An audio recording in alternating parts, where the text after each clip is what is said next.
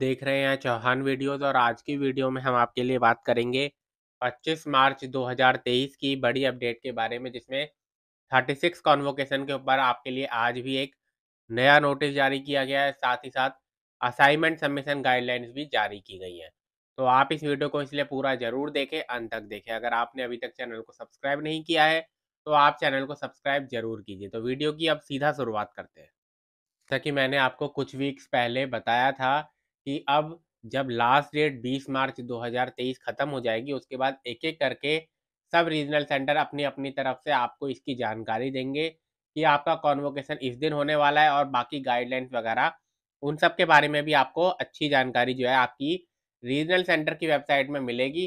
तो एक एक करके सभी रीजनल सेंटर अपनी अपनी वेबसाइट पर ये जानकारी दे रहे हैं। आप जानते हैं, पणजी रीजनल सेंटर की तरफ़ से एक नोटिस आया था, कोलकाता रीजनल सेंटर की तरफ़ से नोटिस आया। उसके बाद भोपाल रीजनल सेंटर की तरफ़ से नोटिस भी आया और उन्होंने एक फॉर्म भी दिया कि अभी भी कोई स्टूडेंट है जिसने अभी तक रजिस्ट्रेशन नहीं किया है तो वो ये काम कर सकता है फॉर्म को भर के सबमिट कर दे रीजनल सेंटर में और उसको डिग्री मिल जाएगी। ठीक?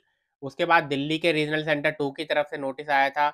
उसके बाद आज जो है वो देहरादून रीजनल सेंटर की तरफ़ से नोटिस आया है, जिसमें बताया गया कि इग्नू का जो 36 कॉन्वोकेशन है वो 3 अप्रैल 2023 को होने वाला है।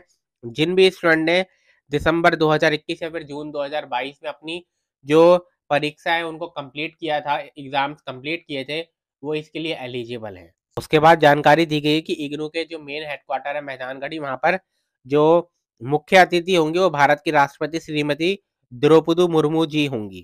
ठीक, उसके अलावा बताया गया है कि इसके अलावा भी देश भर में इग्नू के जितने भी रीजनल सेंटर है, वहाँ पर भी आपके लिए ये प्रोग्राम जो आयोजित किया जाएगा, यानी कॉन्वोकेशन जो है वो होगा। इग्नू में जो देहरादून रीजनल सेंटर है, वहाँ पर धन सिंह रावत कैबिनेट मंत्री जो है, वो मुख्य अतिथि होंगे और आपका जो ये कॉन्वोकेशन होने वाला है, वो साढ़े दस बजे से शुरू होगा राजीव गांधी नवोदय विद्यालय परिसर के एमपी हॉल में। ठीक? तो वेन्यू की जानकारी यहाँ पर आपके लिए दे दी गई है। क्या दी गई है? जो कि आप देख सकते हैं तीसरा पैरा जो है उसमें देहरादून स्थित दीक्षांत समारोह का आयोजन राजीव गांधी नवोदय विद्यालय परिसर में होगा। के एमपी हॉल में दिनांक तीन अप्रैल 2023 को प्रातः साढ़े दस बजे से, यानी साढ़े दस बजे से कार्यक्रम शुरू होगा। ठीक, जिसमें दो हज़ार सात सौ चौरानवे जो शिक्षार्थी, यानी कि स्टूडेंट हैं, उनको डिग्रियाँ बांटी जाएँगी। इसमें एक जानकारी और दी गई है लास्ट के पैरा में कि अभी तक सिर्फ़ छह सौ अठहत्तर शिक्षार्थी हैं जिन्होंने अपनी फ़ीस सबमिट करवाई है। तो यहाँ पर जानकारी दी जा रही है कि लगभग 2500 से ज़्यादा स्टूडेंट है जिनको डिग्री मिलने वाली है, लेकिन सिर्फ़ छः स्टूडेंट ऐसे हैं जिन्होंने अपना जो फ़ीस है उसको सबमिट किया है। तो इसलिए ज़रूरी है जितने भी स्टूडेंट है जिन्होंने अभी तक आवेदन नहीं किया है, जिन्होंने अपनी फ़ीस सबमिट नहीं की है, वो अपनी फ़ीस सबमिट कर ले ताकि उनको, उनकी डिग्री मिल जाए। तो ये देहरादून रीजनल सेंटर की तरफ़ से नोटिस जो है वो जारी किया गया है, जैसा कि मैंने बताया एक एक करके अब आप देखेंगे पिछले अगले तीन से चार दिनों के अंदर लगभग हर रीजनल सेंटर अपनी अपनी तरफ़ से आपको जानकारी देगा कि कहाँ आप, उनका रीजनल सेंटर के अंदर कॉन्वोकेशन होने वाला है क्या क्या डिटेल्स है, वो सारी जानकारी आपको मिलेगी।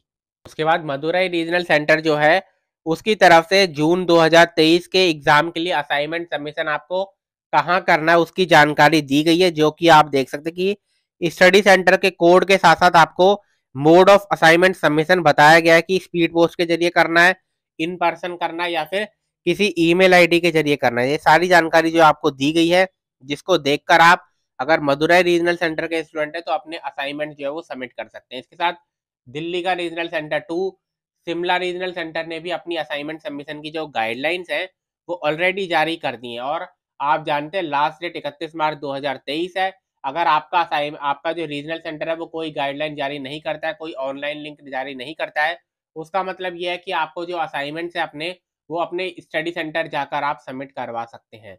मैंने एक असाइनमेंट सबमिशन स्लिप भी आपको दिखाई थी, उसको आप डाउनलोड कर लीजिए मेरे टेलीग्राम चैनल से, जिसका लिंक आपको डिस्क्रिप्शन बॉक्स में मिल जाएगा। तो आज की वीडियो में इतना ही।